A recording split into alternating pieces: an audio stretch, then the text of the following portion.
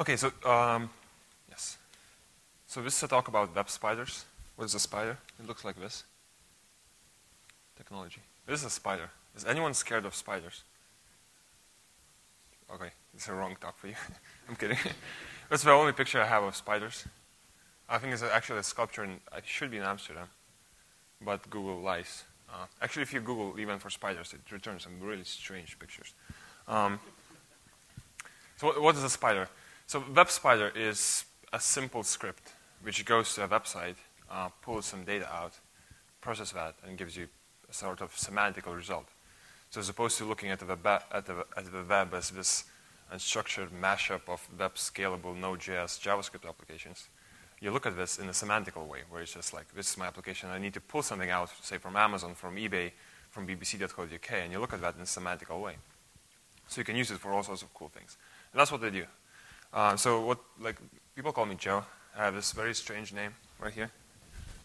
Not a lot of people can pronounce that. I, I used to say, like, if anyone can pronounce this name, I'll buy you beer.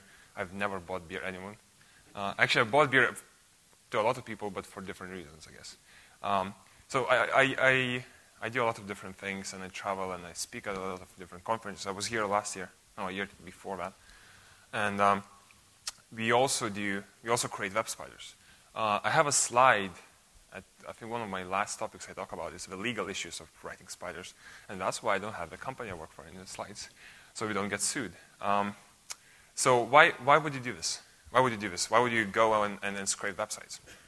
There's a lot of different reasons, but the main one is that we need data. Why it's not working? So we need data. Why do we need data? Data is, data is very good. You can make a lot of decisions if you have data. If you don't have data, you can't make decisions. Also, data means you can make money you get data, you do some clever things with it, and profit. Uh, I think Amon has a similar thing. You just do something and there's profit. So why, why do we have to scrape the data? Why it doesn't exist? Because people don't have APIs. So first of all, most of the APIs, APIs people have are horrible. Um, or they have throttling, which limits how much data you can extract of them. So you need a web spider. Second of all, I guess what a lot of people don't realize is that if people are actually scraping your website, they probably need an API. Uh, if you don't have an API, you just don't leave a choice to a lot of people. Um, so what people end up doing is that we, they look at the website and say, oh, this actually has a lot of cool stuff which I could use. Let's scrape it. Um, there's, a, there's another field which, a lot, like a lot of the things I do I can, can be described as this. It's called data science. What data science revolves around is that you ask a question saying, I'll be interested to know what are the most popular I know, music bands mentioned on the BBC. And that's the sort of question you want to ask for various different reasons. But you don't have this data. You can't just ask BBC what they have in their website. So you go around and you find that data, you find that, you extract the data, you treat it well, and then you can use it for all the different things. So uh, when you're doing data science, when you're trying to answer sort of different questions, you need to find that data, and that tends to be the best place is on the web. That's what we do mainly. So how does it work? Um, very, very simple. So first of all, you figure out what you want to request. And that's a very subjective question because it, it, it, depends on, on what you're looking for. Like if you're trying to build google.com clone, obviously that means you want to request every single page on the web and, and process them. But in most cases, you don't really need that. You, you need very, very, very small subset of data. So once you figure it out, you request those pages, you build them, uh, you request them from the web, you store them somehow. Then you process that for a parser. So rather than having an HTML page, if, it, if you're requesting actual HTML pages, maybe you're requesting images and doing analysis on them. But if you request an HTML page, you run through a certain algorithm to extract data. So for example, rather than having a BBC HTML markup, you extract a, a title of a, of a news article and an abstract of that or if you're, if you're trying to get product information or sports information, you're extracting actual numbers and you have really concise data.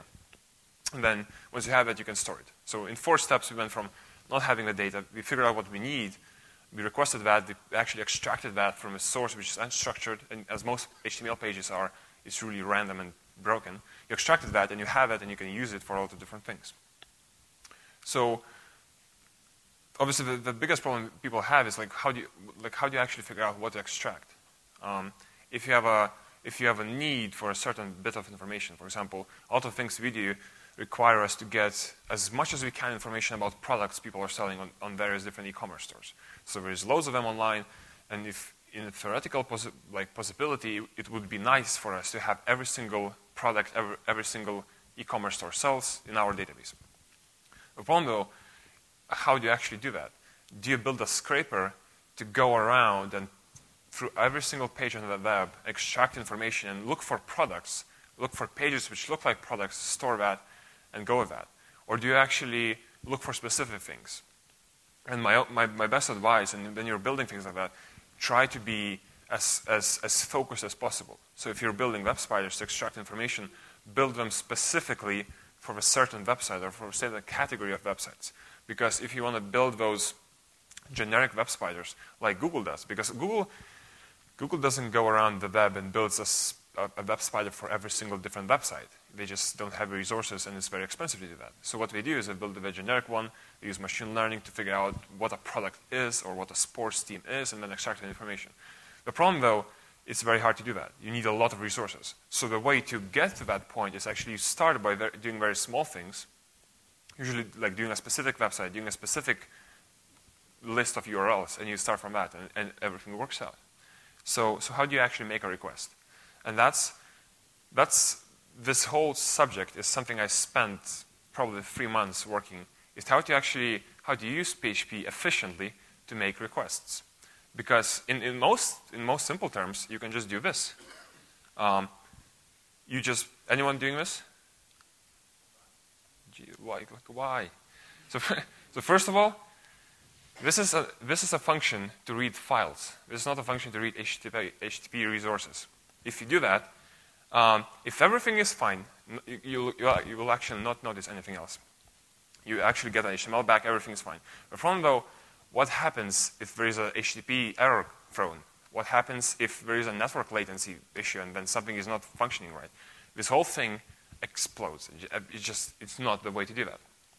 So when HTTP errors happen, that's actually one of the key things you want to do is actually, so if you're requesting a lot of requests, your, your spider is getting the data, eventually you, you're probably going to get 404s. Eventually you're going to get 503s, which means the website is saying, fuck off, you're requesting too many things. Uh, and they do actually a lot of that. Especially the biggest websites will eventually start throwing HTTP code saying, you're requesting too many things, can you actually dial it down a bit? And you should probably. Uh, I'll tell a story why I didn't, and oh, it's, a, it's, a, funny story. Um, so what you're trying to do is optimize things. So um, assuming you're running things on Linux, and probably you are, unless you're running them on Windows, but then it's just why? Uh, if you're running PHP on Windows, it, the, the PHP doesn't actually do web requesting itself. It doesn't request remote URLs, your, uh, remote IPs itself. It delegates that to curl extension, usually, and then delegates that to the Linux kernel. Most of the requests, most of the requests you're going to make are going to be TCP IP requests. Very simple, everything works. The problem though, TCP, TCP IP request works like that. You open a connection to a certain IP address, and then you can call, you can send requests, everything is fine. But when you close an extension, or close a socket, uh, curl does it for you, you close a socket, the funny thing is that socket is not actually closed for at least two minutes by default on Linux. Why? Because if you close a socket, and socket usually runs on a specific IP on a specific port, if you close that socket and the kernel level doesn't, like the information is gone, if a dropped packet arrives a second later, all of a sudden Linux kernel has no idea where it should go because the socket doesn't exist anymore. So by default, it leaves the sockets open for at least two minutes. So if packets dropped or re relayed by proxies are coming in late, Linux kernel can still understand and maybe discard them. But basically it tries to prohibit where you open a socket, you close it, and open another one in the same port, and then some lost packet from a different connection comes in, and everything just explodes. Um, that creates a problem because like Linux, again, by default, you can only do roughly 25,000 open connections, which sounds like a lot. It actually is not, because if, if connection stays open for two minutes, you can only do so many requests a second. Um, so, what, so I, was, I was reading and I was trying to understand why does PHP doesn't have a good way for me to open a connection to an IP address and be able just to call the call the different URLs and keep getting the results. Because even, even if you keep calling, say, I know, bbc.co.uk, same domain, same IP address, you, you will be creating a new connection every single time, new socket every single time. If you start doing, I don't know, 100 requests a second, chances are, very, very quickly, everything is going to break. The problem, though, it's very hard to figure out why.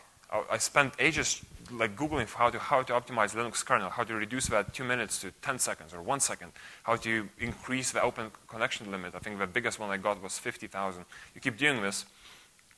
And what I realize is, I was like, wait a second, connections sh should be able to re be re reusable because curl actually allows you to reuse connections. The problem, though, it's extremely difficult, I guess, to figure out how to do that. So I have an example of how to do that. So in most cases, you would start uh, you would start something like this, which is very, very simple. That's a, that's a PHP code. You open a curl handle. You set the URL. It's just a, it's set a few options depending on what you're doing. You set that. You request things. Boom, gone. Every time you call this, Linux, uh, yes, Linux opens a new socket. That's terrible performance because you're creating sockets. Eventually, going to either run out of memory, or everything is going to start to block. If actually, if you close, if you call this in a closed loop, for a million times, it will actually slow down very, very quickly, and everything just going to freeze for a while until the sockets reopen again. And that's a big problem because you're not using uh, uh, resource efficiently. How do you do that right? This way. Um, code looks almost exactly the same. The different though, I extracted the request to this method called curl exec with multi. And uh, this is the, the, the, shortest version I could fit it in a slide. But basically how it works, it, there's an extension called curl multi-extension. Um, same as curl, just allows you to request multiple things at the same time, basically. That's what I thought, and that's what a lot of people think it does. Actually, that's not right. What it does, it also keeps the sockets open. So as long as I have my handle at the top um, of a curl multi set, if I keep calling on it, if I keep setting the, the handle, requesting things, and then closing the handle, as long as I keep doing this, I can actually reuse the sockets I have open. And then as soon as I did these things, these things, all of a sudden everything just became so much more faster because I don't need to open new connections. That's actually one of the one of the more important things when doing web scraping with PHP or web spiders with PHP. If you don't do this, the performance is going to be horrible, and it, it has to be horrible. But even if, even if you do this, in most cases you're going to be doing sequential type calls, where you have a, a list of an array of URLs you want to request the data from. You go for that, you extract the data, you do something, and everything seems to be fine. That's, a, that's not a good way to do that. What you want to be doing is use queues for everything. Um, why? Most of the stuff in, in web scraping um, is waiting for I.O. So you request a domain, uh, a URL, and the request is coming in and while it's doing that, you're waiting for something. If you're requesting slow URLs or remote URLs, which are very far away, uh, you're spending a lot of time waiting for a request to come back again and back again. Especially if you're using SSL, everything is even more slow. So what you want to optimize for is not wait for I.O. ever. If there's an I.O. process happening, it can keep running by itself, and you're just doing more things. How does it work? You want to do asynchronous processing with Node.js, for example. I'm kidding. You can do it in PHP too. So what you want to do, in most cases, is use Gearman. When you have a thousand URLs to process, you push them all to the queue, and you have, say, I don't know, 10, 100 processes running, 100 workers running, which take a URL from a queue, request that, and then process that, for example. So all of a sudden, you can, do, you can be doing 100 parallel requests, which reduce the I.O. wait in combined fashion by a lot. By a lot. But even then, if you, if you actually request a resource, um, wait for it to download in the worker, when you got it, and when you run the processing in it again, you're still blocking things. So eventually what you're going to end up with is you have queues for every single stage of a processing. So you have queues for a URL list you need to still process. Then you have a list of HTML documents you want to process to run through the actual parser. And then you have a, a list of processed results you want to store in a data store. And when you push everything to queues, there's not a single I.O. wait. Everything is actually being executed in parallel and everything scales really well. So it, that's what you're doing. You do, you do not block for IOs because that's pretty much it. Just it ruins everything. Um, but even if you don't, the problem with the problem with the I guess web scraping is that internet is not really reliable. Like networking is meant to be not reliable because HTTP is a very recoverable pattern. Whatever you do, you, if the request fails, you can request it again. And that's why queues help, because if you have a thousand, thousand URLs you want to process, if any of them fail, you just take the same URL, put it back to the queue, and you just retries. You don't need to control anything. You don't need to do while requests actually exist, keep requesting, keep trying it again. If anything fails, you just put it back to the queue uh, or mark it in a queue that it wasn't actually finished, try it again. And you keep doing that, and it works out eventually. Um, so we, we, we, we figured out how to actually request things, how to go and how to go to the internet and actually get the resources and, and, and then download them efficiently. How do you actually process them? That's actually one of the biggest challenges is that when you have unstructured, in, unstructured pages, all HTML, how do you pick certain bits of, bits of pieces of information? There's different ways. Mainly people go with regular expressions. That's a default choice. It's actually a horrible choice. Um, why? regular expressions are are not are just not made for HTML. HTML, you can argue that, but HTML is not actually a regular language, and uh, pushing regular expressions on top of it tends to break. Why? Because you, with regular ex expressions, you either will end up looking at a very very small elements where you'll be saying like, find me an A tag with, and then just extract the, the refs it's linking to. Or you're going to be looking at very wide things, but then with white space included, your regular expressions are going to break eventually. And that's, don't even try to go that path. People, people, people try, and everyone kind of, oh, just use regular expressions because we can extract anything from anywhere. And with HTML not being valid, that seems to be the, the kind of a nice choice. No, it's actually a very horrible choice. The best, the best thing to do is to use XPath. Uh, one of the best things to use, to use XPath. Anyone have used XPath before? Yes, good. A lot of people. Uh, probably you're, you're asking, XPath is, well, it doesn't, it should not be working on not valid documents um, because most of the pages in, in, on, the, on the internet not valid HTML. So how do you throw XPath at it? What actually, in practice, it's not really a problem. Uh, even the PHP XML libraries will gladly accept any HTML you throw at them and parse that because X, like XML is nice for that. Yay for XML. You can actually parse broken documents, or if you if you want to go that path, you can use the tidy extension to actually clean them and get the XML result. Once you have that, you can use XPath to extract certain constructs of, of, of the actual tree and then use them to, for the data. That's the best thing. That's what I use for most of the things. Because it works, it's stable. And uh, it's way more easier, to, I guess, to debug, especially to debug, as compared to regular expressions. There's a new thing, though, which I actually quite like. Um, any, of, any of you have used Selenium before? A few people? So, um, looking at the Node.js camp, um, what Node.js does, obviously, it, it, runs JavaScript on the server. It runs V8 on the server. V8 is Chrome, almost. So what people did, Phantom.js is a, is, a, is a browser which runs server-side. So it, it behaves exactly like Chrome would do just have no screen. It just there's no screen. You can you can control it using code, um, similar fashion how you use Selenium for, but it runs without actually any screen. So it doesn't it doesn't need to load the UI elements. What's good about it, because it's it's an actual Chrome browser living in in the memory, it actually loads things and parses things like a browser would do. And browsers are amazing at parsing this unstructured, broken HTML code.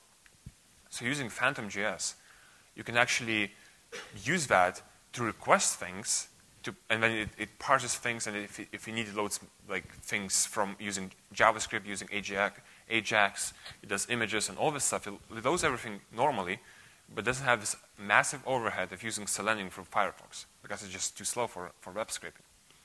So I've been playing with using Phantom for web scraping PHP, and it's actually pretty nice. So how do you do that? Is you have a normal PHP script, but rather than using Selenium with a default Firefox extension, you point Selenium to a Phantom running in a server, and then it does everything exactly the same. But then you can use um, jQuery expressions. If you, if, if you just load a jQuery, you can use jQuery expressions to load specific nodes. So what, what you're used to, just using CSS classes and ID names and ID tags and class tags, you can use the same thing for extracting the content, which is still not as easy to do with XPath. By just using CSS extensions, it's way more easier. A similar thing, uh, Symfony, Symfony 2 has a similar thing. Um, they have a browser built in PHP almost, so it can load HTML and do these sort of manipulations using CSC, CSS paths on just PHP level. I wouldn't recommend you do that because it's just horribly slow. PhantomJS, it tends to be the best for you. Um, the problem, though, you might be thinking, is, okay, so you requested something and you, you have this fancy code and you're, you're parsing things and everything seems to be working. How do, you, how do you actually handle when things break? Because people change websites. And that's the bigger a website is, they, they like to change things, change things once in a month just to break every single web scraper which is scraping them. Especially all the e-commerce sites tend to move things around just to break your code. Especially regular expressions break if you move things around. So how do you, how do you handle page changes? Um, the way you handle that is you, you, you monitor things. And I have a whole section about how you monitor things. But basically what happens is you just assume your script is not broken until someone tells you it is. And that better be not a person, but you're going to have some monitoring code where all of a sudden you're not getting data imported to your, your database, and you notice that your script is broken. Adding checks to see like if this matches a certain pattern, not a, not the best way. The easiest way to do, I expect my code to, to run and return results if all of a sudden HTTP errors start appearing or parsing errors start appearing where all of a sudden I'm not extracting data anymore, you can either kill the scraper or notify me by email or in any other fashion, and I'll be able to come in and actually fix that. Uh, but the, the, important thing is you have to act like a human. So web scraping or web spiders is, it's, I don't think it's actually well defined yet. Is it actually legal or not? Um, so what you're trying to make sure is that well, what you're trying to make sure you don't get blocked is that you act like a human. So from a server logs, there shouldn't be any difference of you requesting that page from your scripts to an actual normal person browsing that page. Because as long as you do that, you're, first of all, not causing any harm. You're not upsetting the stats of the server. Um, and second of all, it's harder, I guess, for people to block.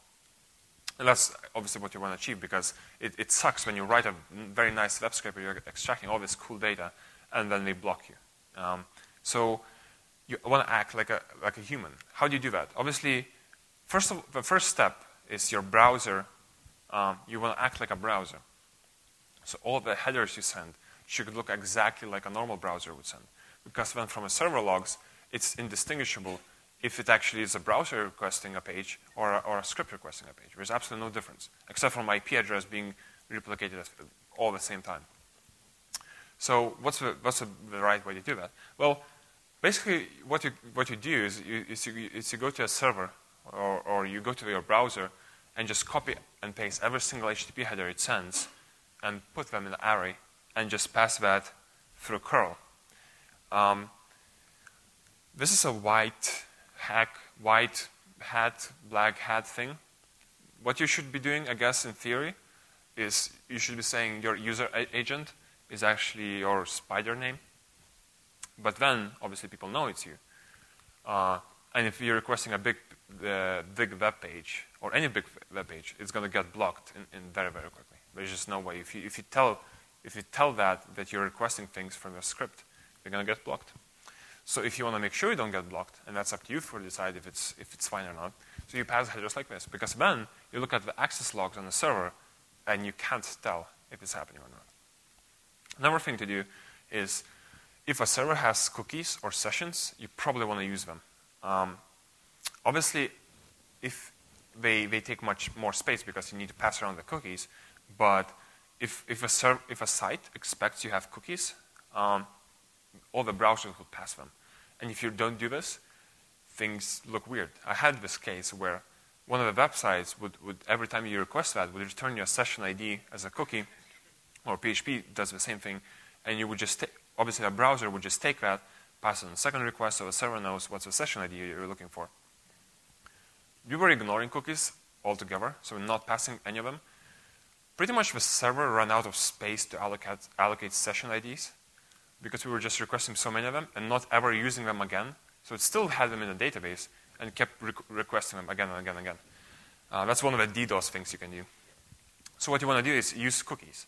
And actually, once you use cookies, you can actually replicate the login action. A lot of people get put off by the fact that, oh, I need to actually log into this website to extract that information. If you go to any of the freelancing websites, and I go over to re- kind of for research purposes to see what people are struggling with, most of the free- freelancing websites would ask, be like, create me the script to log into this website and get some information. Because a lot, a lot, in most times, the information is stored in, uh, in, uh, under a certain login. So it's either a backend system want to access, and using, using backend systems is not that hard. The only thing you need to change in curl, you just pass a cookie jar and a cookie file. Um, and then it stores every single cookie server sends to that file, and every time you request it again, it takes all those cookies and passes again. So again, it looks exactly like a browser, but you can support you can support sessions and you can log into things, and and and, and, and a server knows what you're doing. Uh, but the, most important thing is how do you actually avoid getting blocked? That's, that's the most interesting topic. Because how do you, like, how do you avoid getting blocked and also not get sued by everyone in the, in the, in the state? So, avoiding getting blocked. It's not, it's actually very easy. So I'm sorry if, if your sites are being scraped, but there's no way you can actually block anything. No, unless you have insane amount of know, technology advancements. But what happens, though, is that it's very hard to tell if it is actually a bot scraping your site or a normal person using the site. If you have a very big website, there is like loads of traffic all the time from very weird sources, especially now with Anonymous doing their own scraping and killing and DDoSing sites. It's very hard to tell. The, the good way to avoid getting blocked is to not DDoS people. Um, because if you DDoS people, they will know it's you. And that's probably one of the one of the best stories we, we, I had is when we actually did DDoS one of the one of the bigger websites because we just didn't realize that we ignored everything I said. So we weren't using cookies. Every time an HTTP code would not be 200, we would just request it again. So our server was saying, "Please calm down. I just I can't give you more stuff." And we were like, "No, please, please give us more." Then you have 3,000 servers requesting things as quickly as possible from the same data center. The website is running anyway. You DDoS things very, very quickly. Uh, so, you, like, if you, even if you're scraping, be nice to people.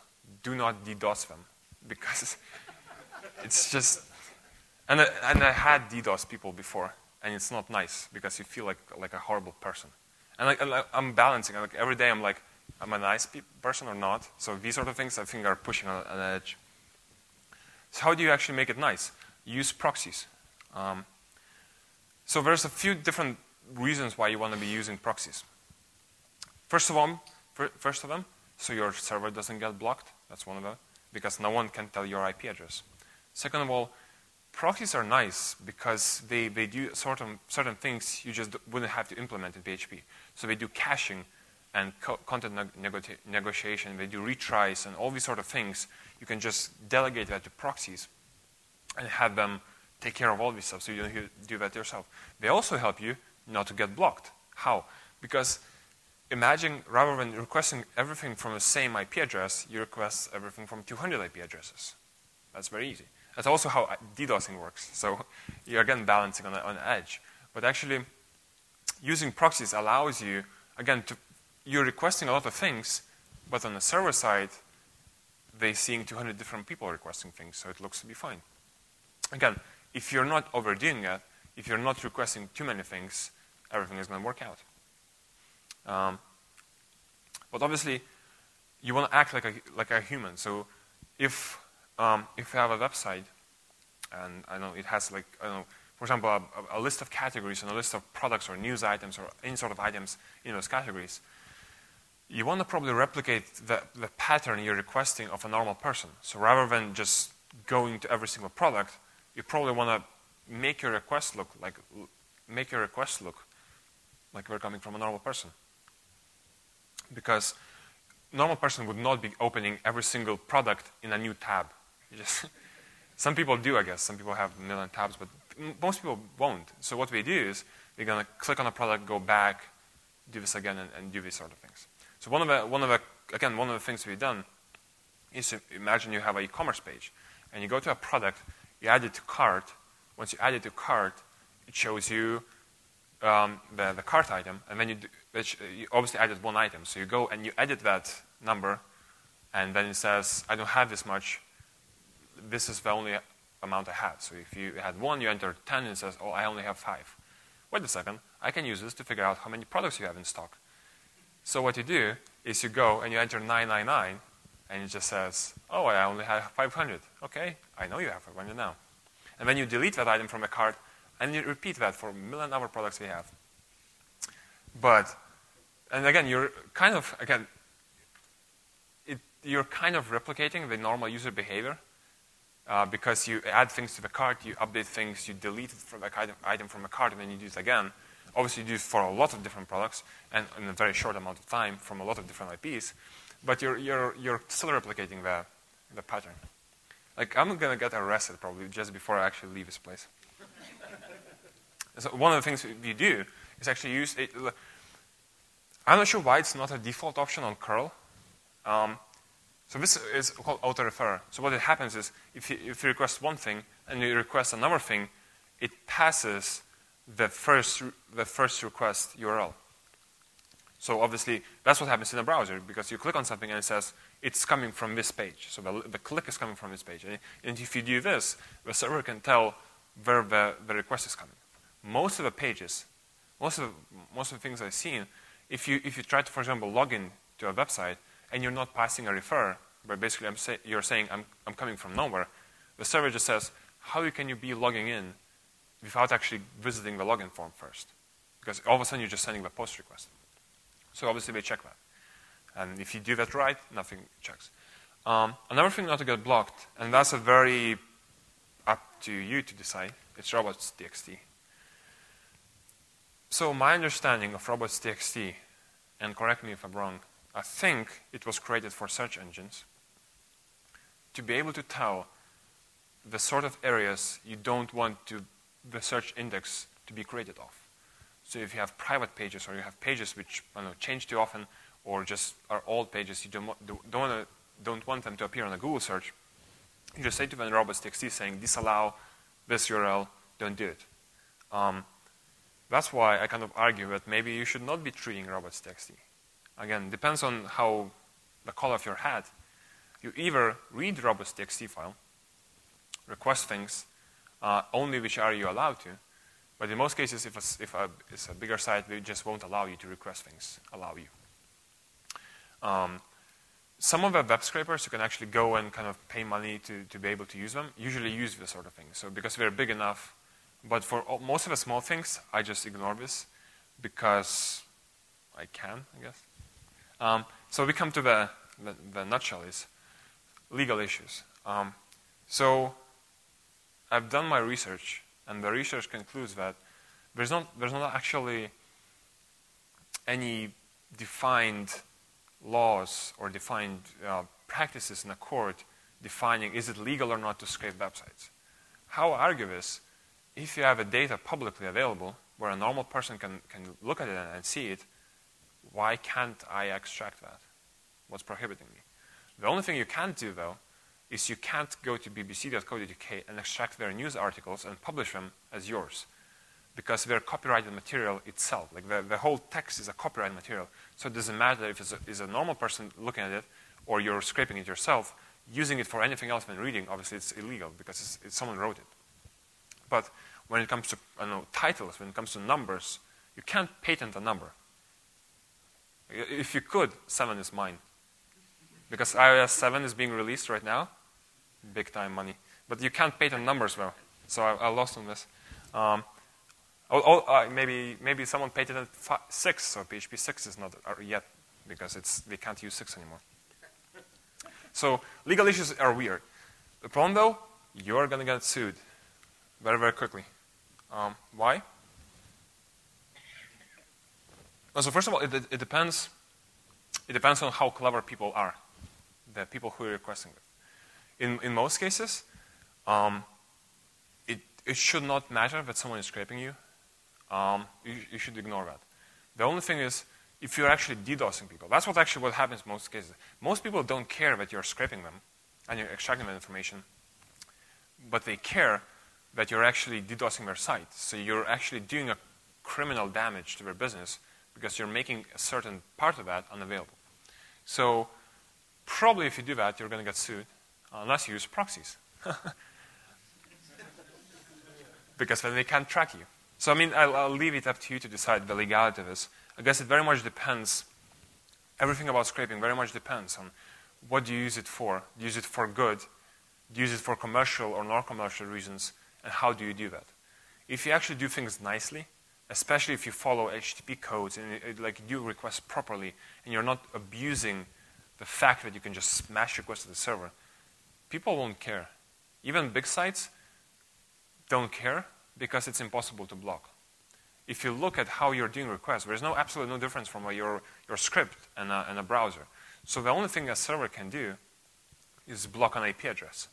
But then, because IP addresses are dynamic, they're obviously not going to do it forever because that IP address needs to be reused. The problem, though, is, for example, Amazon EC2 has a, a signed list of IP addresses. You can't access google.com or any of the Google sites from Amazon EC2 instances. So if you just create an instance and just do a normal wget, you're not going to get anything. Because everyone uses Amazon to scrape things. Uh, it's the same thing on Hacker News. For example, if you use Amazon to scrape hackernews.com or news.ycombinator.com, it actually limits the speed to 10 kilobytes a second. That's actually one of the best things to do. Is actually rather than block things from a server side, just limit things or make things confusing. The best idea I have, if anyone wants to do it, let's do it, if someone starts scraping you, add an if statement to your code, which changes the website depending is it scraping or not, especially when it comes to prices or numbers, and be like, haha, just suck on this. uh, it's actually very, very effective. Why it's effective? Because the way people do scrapers are, are stupid. And how do you do that? What you want to do is you need to measure everything. And that's something we've done a lot of research on and how do you do it right. But basically what you're looking for is make sure that you, whatever scraping you're doing, whatever contact extraction you're doing, you measure the performance of that. Currently, uh, we do 100 million pages per server per day, which equals to, I think, more than 1,000 requests a second. When, you when you're at that scale, um, how do you know if things are wrong? How do you know if a proxy IP address is not functioning right? How do you know that the request processing time is as efficient as possible. The way you know it, you measure things. I've given, uh, I've given that talk at, different conferences, uh, so it's pretty interesting. If you can check out the slides, it, it, talks about that. But there's a very good extension called StatsD, which basically allow you to measure things. And the things you're, you're looking to measure is these sorts of things, response times. Just what any, any request you're making out of a scraper, just measure the time it takes for a request to come back and just log all these results. Whatever requests you're making, just log them. Then take them and graph them. And, and be able to plot the request times. Because then, if you're playing with the curl extensions, if you're playing with Linux settings, and you like depending on your size, you you start playing with these things. You're trying to optimize the I/O wait time.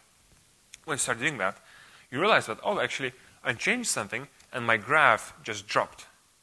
That that gives you insight.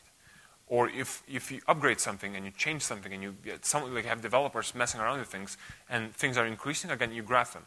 Because when, you, when you're making a lot of requests on something like internet, which is the speed is never a constant, it's very hard to tell if actually things are running fine. Especially, anything, like testing anything locally is meaningless. because probably the scale is going to be very small and your network speed is not going to be as fast probably as the server speed you're going to get. And, and especially we are looking for, something I like especially is, whatever HTTP error you get, just graph it, like be able to tell when errors happen. Because then, then you can tell, wait a second, all of a sudden someone actually blocked me. All of a sudden I, am getting 503 errors on my graph. Someone actually blocked. I know, I don't need to check anything in my logs. If that error happens once a day for a minute, it's just a random thing, so just malfunctions. You don't actually need to care. If, because if you look at a log with errors, it's hard to tell if it actually happens all the time or sometime. When you grab things, it, it's very clear.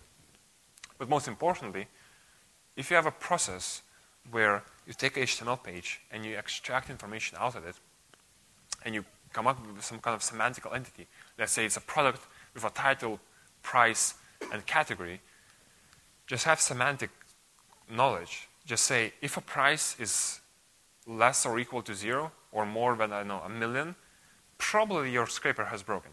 Because in most, well, unless you're scraping Pagani website. In most cases, if you're scraping, I know, some kind of e-commerce shop, no one is going to cost a million.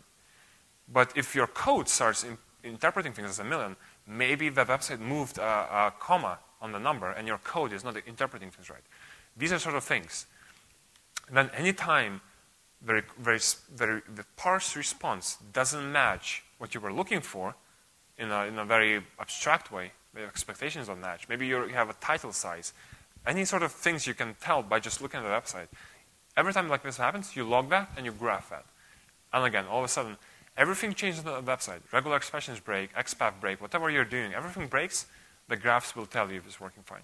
Pretty much that's the only way to tell this sort of large-scale request-based things if they're actually working fine. What, that's what you do. And by now, there's a, there's, a, there's a page I can log in right now, which I won't, but I could, I guess, and I show you every single graph of any, every single measure. And I can log in this today, create an alert saying, if there is more than 100 HTTP errors uh, in a minute, send me an email. And I don't need to check that. If something breaks, it sends me an email, and I know, and it's fine. So it's recoverable. So how do you do that? Is you look at metrics, and you're able to tell the performance, the error rates, the success rates, all these sort of things, and you take them and measure them.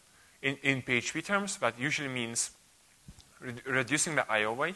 So use the queues as opposed to sequentially requesting things. Requesting thing, processing that, storing in a database, split that to queues. So every time you do, need to do something, there's a queue waiting for that. You don't need to actually block to do something. If you, to, if you need to process things, you can process them as quickly without waiting for the download to happen. If you need to download things as quickly, you don't need to the processing to finish before you can download the next item on all these sort of things. Obviously, you need to have a manage, you need to have metrics for the queue's length because if you're requesting things quicker than you can process them, then it's, it's pointless what you're doing. But eventually, you're going to optimize that. So web, web, web crawling for fun and profit. Um, in short, it's, it's unclear if it's legal or not. Um, I guess it depends on your, on your use cases. If you're stealing copyrighted information, it's definitely illegal. Uh, but if you're using it, if you're using the public information for something else, especially internally, no one really cares because it's public anyway. It's someone put it on a website. It's fine. Don't use what they said in a court. Like I don't have authority on this. If I if I had my chance, like if my understanding about web, it should be open. It should, like, everything about web, it should be open web. So whatever you put online, it should be, like, anyone should use it for anything they want. I don't care. So when it comes to PHP, measure things. Whatever you're building, make sure you measure things and make, make sure you don't block on things. That's the most important thing when building web scrapers, don't block on things. When parsing comes, there's different, different ways you can do. But basically, the, thing, the, the simplest thing, download a page, create an XML object out of it, run an XPath query on it, get a result back, store it. It's very, very simple. So with that, thank you, and hopefully I'll see you next year, and not in jail.